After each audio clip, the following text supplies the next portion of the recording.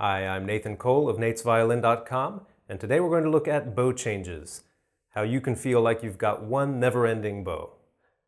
So you may be asking, why are we in ancient Greece? That is a good question. I'm going to get to that in a minute. Let's first take a look at the slow movement of the Mendelssohn Concerto and pay attention to its bow changes.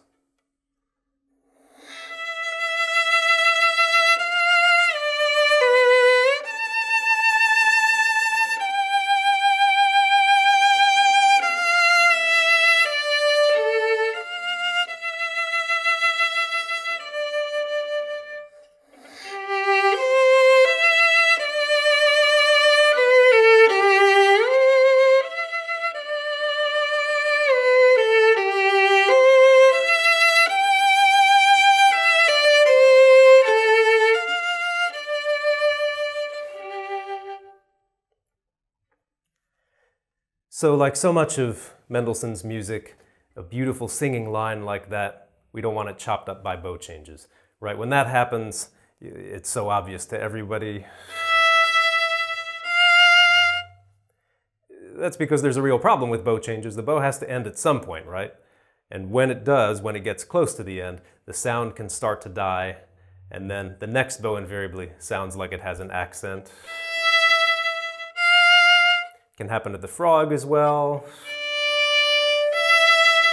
But most often happens at the tip because the sound naturally gets weaker there. And we don't want that. So, ancient Greece. Told you I'd get to it pretty quickly. There was a philosopher named Zeno, and he came up with a lot of paradoxes, and these were new ways of thinking, looking at the world. You might even call them silly. Uh, some people at the time thought they were very silly. But there's a great one about the tortoise and Achilles. I'm going to tell you a little bit how it works. Then we're going to watch a short cartoon. Um, but Zeno proposed that if Achilles and the tortoise had a foot race, that Achilles could never catch up to the tortoise, even though he was much quicker. In fact, uh, he even said, let's say that Achilles is 10 times as fast as the tortoise. And so we're going to set them both on the track and Achilles is going to give the tortoise a giant head start. He's going to put him actually pretty close to the end.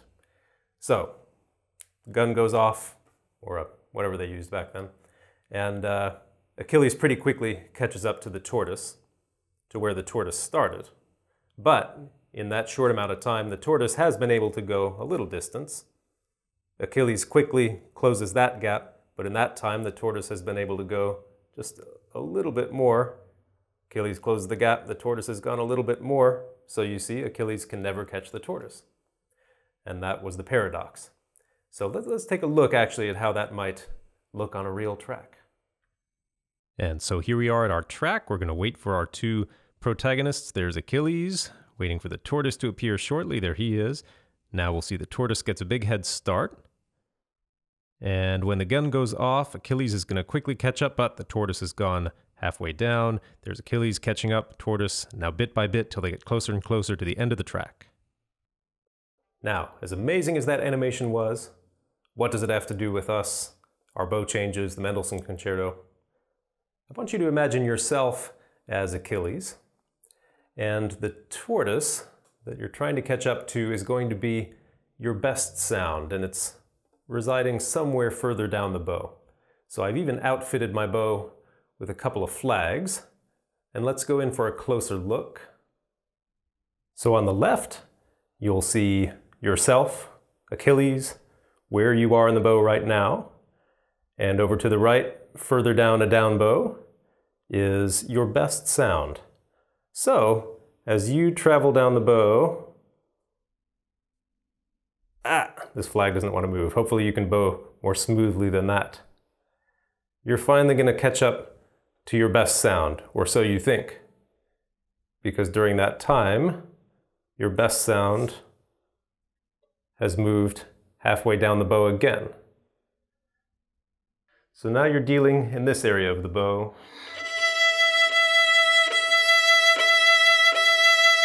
So stay there for a little bit. See how great a sound you can get in that quarter of the bow. Now, as you reach the three quarter point, your best sound has moved again. that much closer to the tip.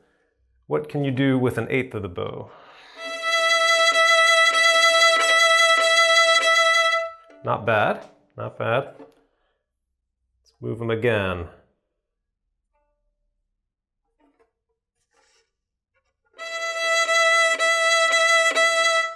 Now the flags don't want to stay up. Finally, we're going to reach that very last inch of the bow. I'm actually going to move the flags back out of the way.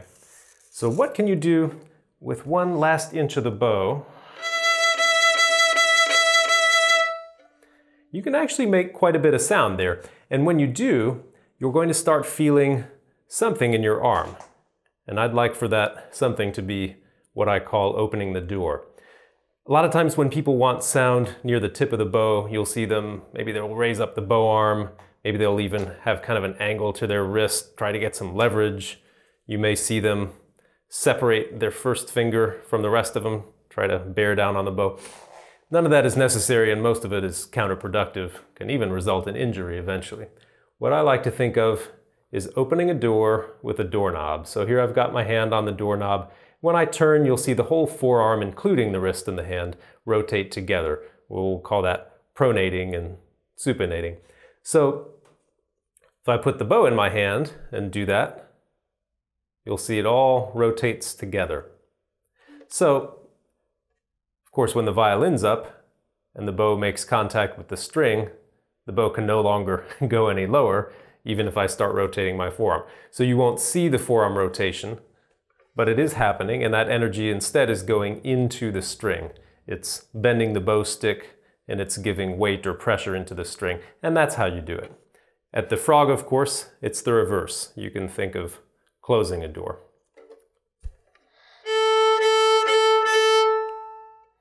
Tip, open. Some of you may uh, open and close doors reverse. That's all right with me, as long as you know which way to rotate. Um, so once I have that motion in mind, I can practice that with the notes of the Mendelssohn. So the very first two notes,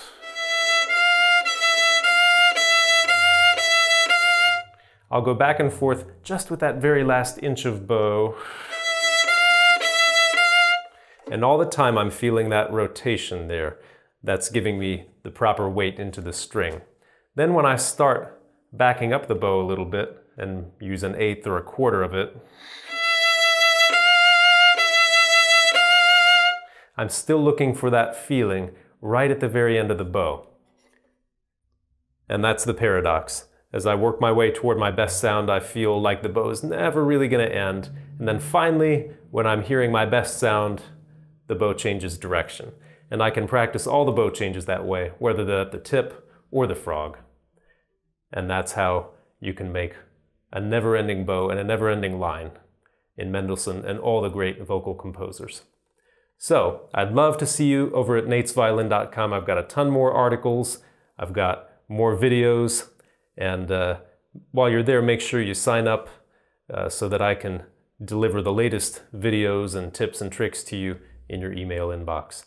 So I hope to see you there soon at natesviolin.com.